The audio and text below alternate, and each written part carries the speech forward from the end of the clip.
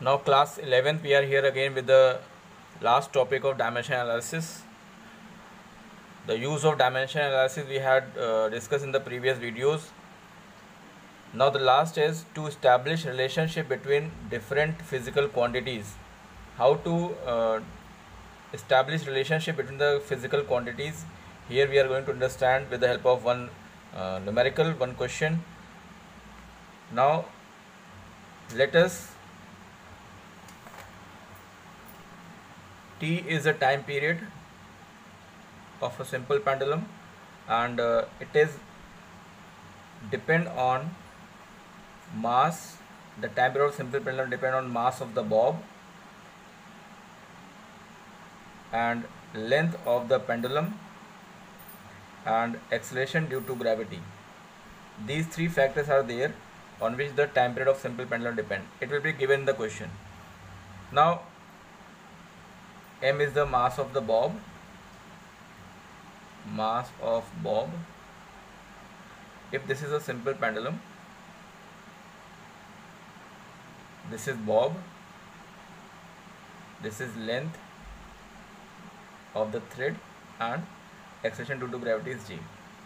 Now the time period of simple pendulum depend on all these factors. How can you find the relationship between among these quantities? We are going to uh, find it first thing you have to do, you make it, time period is proportional to mass, length and expression due to gravity means हमको अगर दिया हो कि हमारा जो time है time period जो है वो डिपेंड करता है मास पर डिपेंड करता है लेंथ पर डिपेंड करता है जी पर तो हम लोग को कुछ नहीं करना है। हम लोग को सबसे पहला काम ये करना है कि इन सबको हम इस तरीके से लिख लेंगे कि हमारा जो टाइम पीरियड है वो मास पर डिपेंड कर रहा है लेंथ पर डिपेंड कर रहा है जी पे डिपेंड कर रहा है। हम ये अपने आप नहीं करेंगे कि ये इसको डिवाइड कर दें, कि मल्टीप्लाई कर दें, कि माइनस कर दें। Simply we have to do the first step पहले हमको स्टेप ये करना है। उसके बाद क्या करना है?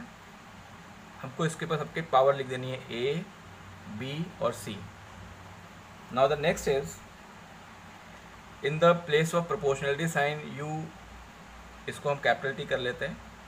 टाइम पीरियड कैपिटल टी से इंडिकेट कर रहे हैं। इस प्रोपोर्शनल साइन को हटा करके हम यहाँ पर एक कॉन्स्टेंट यूज़ कर रहे हैं के and again M to the A L to the B and G to the C इस तरीके से लिख लेंगे।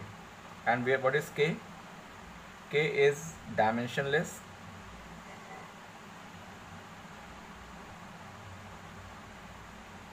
constant of proportionality proportionality now after this we have to write the dimension on both side what we have to do write dimension on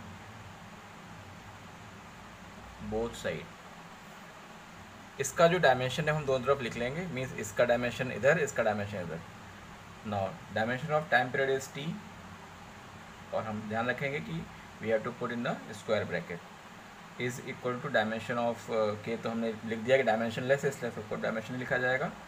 And the dimension for mass is capital M symbol to the A A यहाँ लिख लेंगे. Then length के लिए capital L इसकी power B लिख लेंगे. And then G that is acceleration due to gravity का. हमारा जो डायमेंशन होता है, वो L T to the power minus two and इसके पर सी लिख लेंगे। Now this is the way how to write the dimension of the given physical quantities now if you compare comparing the dimension dimension को compare कर लेंगे दोनों तरफ़। तो here m to the power 0 l to the power 0 and t to the power 1 and here m to the power a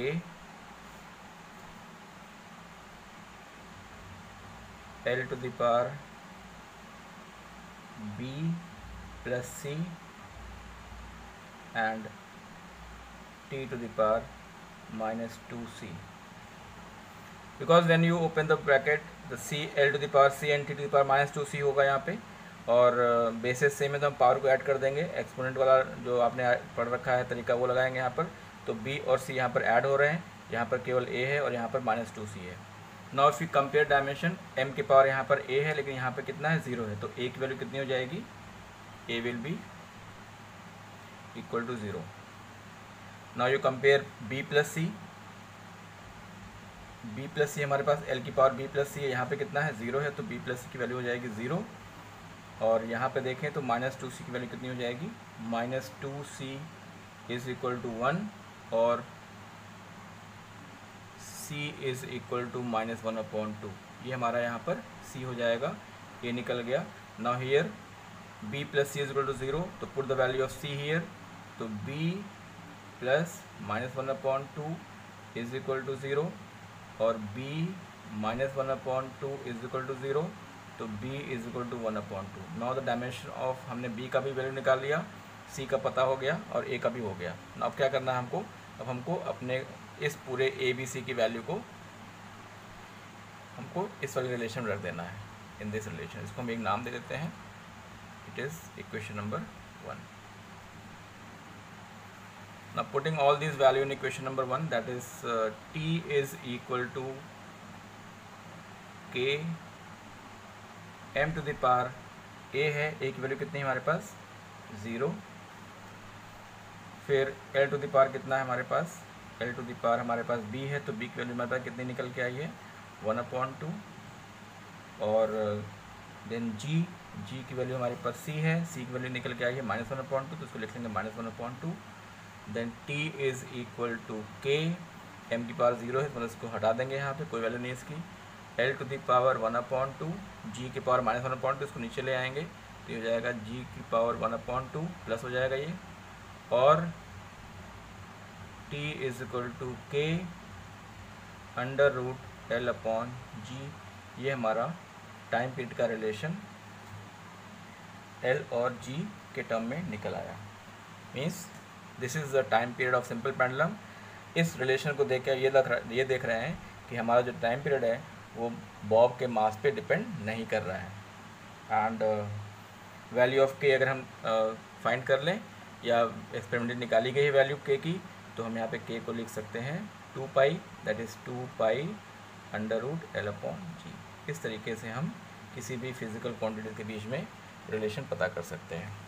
क्या हुआ हमारा relation t is equal to two pi under root L upon G this is the relationship between length extension to to gravity and time period of a simple pendulum तो now with the help of this understanding you can solve any of the question given you have you can find the relationship between the physical quantities सिर्फ़ करना क्या है what we have to do we have to just write the dimensions of the given values पहले हम value लिख लेंगे, उसके बाद उसके डायमेंशन को लिखेंगे then we have to find the values of A B and C whatever we have put here then you put the value and you find the relation this is the last topic of dimension analysis solve the question I will give you the question for the practice and in the next video we are going to start the new chapter motion straight line thank you have a nice day